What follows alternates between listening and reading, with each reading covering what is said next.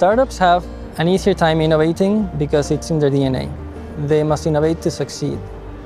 They don't have legacy code, they don't have legacy systems, they have less bureaucracy, so it comes more naturally to them. Startups and large companies can cooperate by doing uh, pilots and by doing proofs of concept to test uh, the technologies or the services that are being offered. Later on, um, the startup and the large business can continue collaborating in a, in a commercial relationship.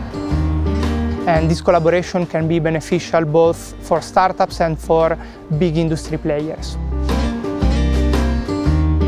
Startups have the ability to quickly bring new ideas into the market and this gives them the opportunity to adapt to change, but also to launch into the market products that uh, sometimes are not 100% ready.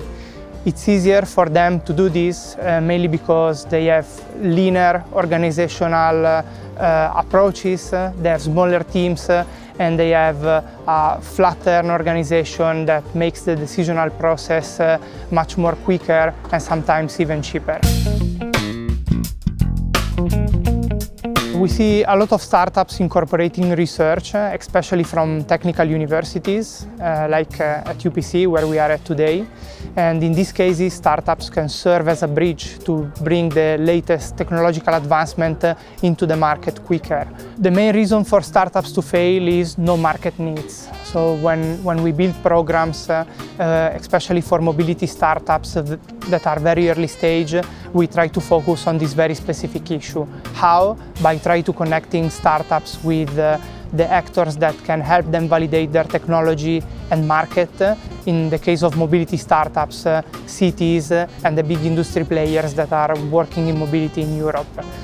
By doing this, we try to maximize their chances to validate their market and uh, technology and, and try to help them in growing and bringing their products uh, into the market with the possibility to scale and have a positive impact uh, on citizens' life.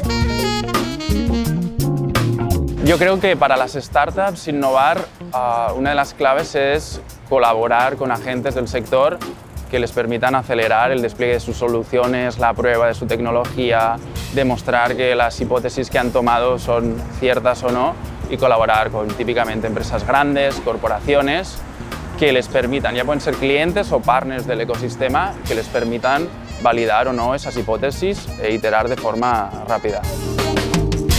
A una empresa como nosotros nos ha venido muy bien colaborar con, un grupo como, como el EIT Urban Mobility, bueno, primero por toda la parte del ecosistema sobre el que tienen conocimiento, que es eh, totalmente común a nuestro target customer.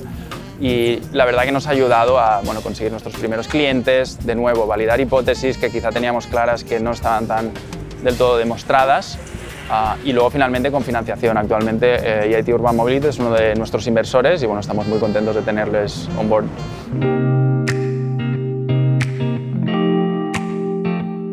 Singularly is an intelligent planning tool that we created after realizing that the traditional players in the field were not flexible, they were complex to install and difficult to use. So after realizing this, and we designed this from scratch, it is in this way that startups can break the status quo and innovate.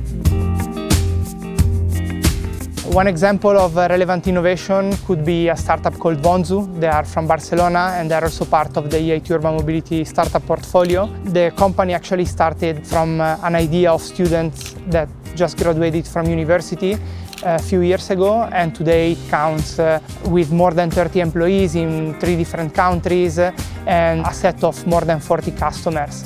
What they are doing, they are optimizing and digitalizing the last mile logistic uh, process to have a positive impact not only on the businesses that they support but also on the environment. Uno de los proyectos que estamos llevando a cabo con la MT de Madrid, la entidad metropolitana del transporte en Madrid, es el proyecto más grande de Smart Charging de España actualmente. Entonces lo que hacemos es una solución eh, software que permite gestionar eh, energéticamente la recarga de los autobuses de la MT de Madrid, de forma que, bueno, de entrada pueden salir los autobuses cuando lo requieren y encima eh, les proveemos una reducción en cuanto a los costes de operación, los picos de potencia, de forma que la operativa de dicha flota es mucho más simple y se acelera mucho más rápidamente hacia el 100% eléctrico.